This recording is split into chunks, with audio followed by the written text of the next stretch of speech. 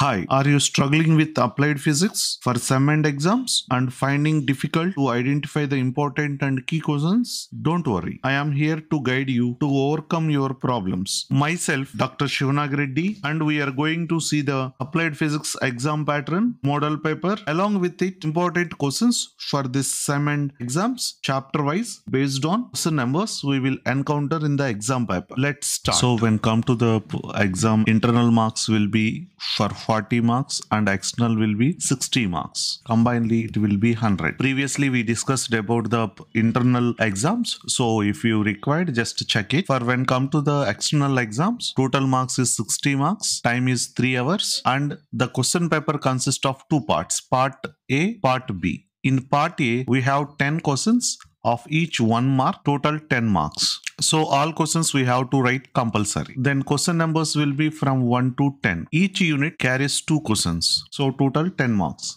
Part B, it is consist of 50 marks. It contains five questions from 11 to 16. In this also 11, we get always internal choice A or B. So five questions, five units. Each unit provide one question. So each question carries 10 marks, totally 50 marks. 50 plus 10, 60 marks. Now come to the model paper. So section A consisting of short answer type questions. Unit 1, we get two questions. Unit 2, two questions. Unit 3, two questions. Unit 4, two questions. Unit 5, two questions. These are very short answer and one mark only. So we have to write answers carefully. Then section B, these are essay questions. Here also it contains 11, 12, 13, 14 A or B's will be there. And we have to answer any one from A or section A consists of one mark questions. 10 questions will be asked. 10 questions we have to answer all are compulsory. When come to the wave optics, Huygens principle we have to write. Then what is interference and superposition principle? Difference between interference diffraction, Fresnel Fraunhofer diffraction, unpolarized polarized light and double refraction. So whenever they are asking for one mark, don't write uh, two three pages. Just write whatever required for that one mark. These are the questions from wave optics. When come to quantum mechanics, we have de Broglie hypothesis, black body radiation and we have to remember that Planck's law then Heisenberg uncertainty principle and uh, wave function and its physical significance then drawback of Sommerfeld theory. Generally, what do you mean by effective mass of the electron? This one also they will ask. Then explain the concept of Brillouin zone or EK diagram. Energy and propagation constant diagram we have to write. Then we have semiconductors and devices as a third unit. The question number will be 5 to 6. What is carrier concentration in semiconductors? Then define p-type, n-type semiconductors and energy level diagram, Fermi level, conduction band, valence band, everything we have to show in the extrinsic semiconductors. Those are nothing but n-type and p-type. Then formation of the p-n junction diode, list out applications of solar cell,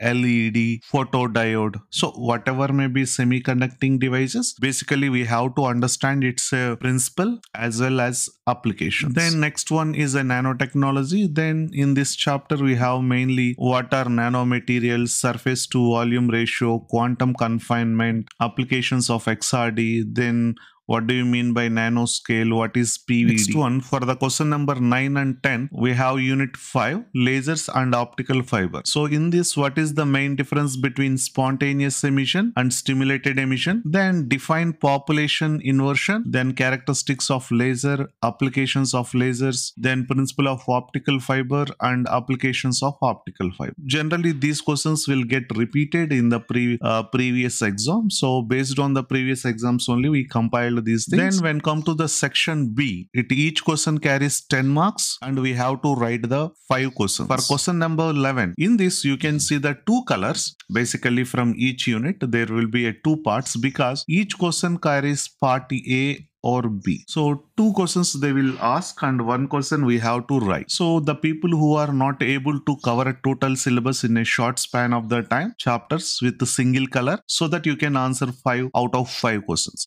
Explain interference by thin films reflection. Newton ring experiment. So then explain Fraunhofer diffraction at single slit. So single slit diffraction, construction and working of Nicol's prism. These four questions first for the first unit and then you can read other content what is available available in your study material. When come to question number 12, this unit consists of two parts, quantum physics and solids. You can get one essay question from quantum physics and another essay questions from solids. So focus on one. We are getting these type of the questions. One is the Davison-Germer experiment. We have Schrodinger time independent wave equation, then 1D box, which is application of Schrodinger wave equation and uh, getting energy and wave function. Then when come to the solids, we have a classical free electron theory, quantum free electron theory, Kronig-Penney model, and formation of bands and materials classification like uh, conductors, semiconductors, insulator. So based on your strength, you will focus on the subject. Next unit is semiconductors and devices. In this semiconducting devices, Hall effect and uh, derivation for it. Then distinction between direct, indirect band gap uh, semiconductors. Then when come to the next one, PN junction diode, BJT, solar cell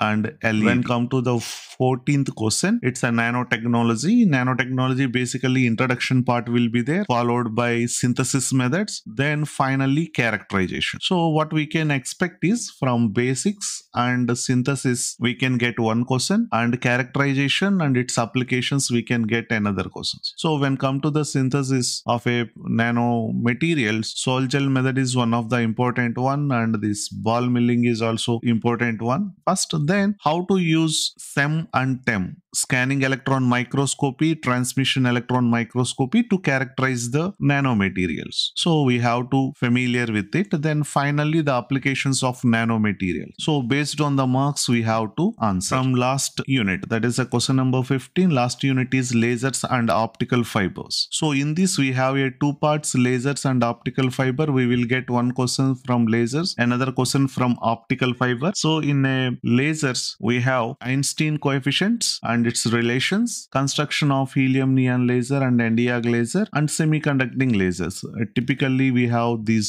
three. Now, when come to the optical fiber, explain the acceptance angle and uh, deduce the expression for numerical aperture, step index, graded index optical fiber, and how the signal is transmitted through them. Then write a note on losses in optical fiber. This is also an important question. All the best. Uh, signing off, Dr. Shivnag Reddy. Jai Hind.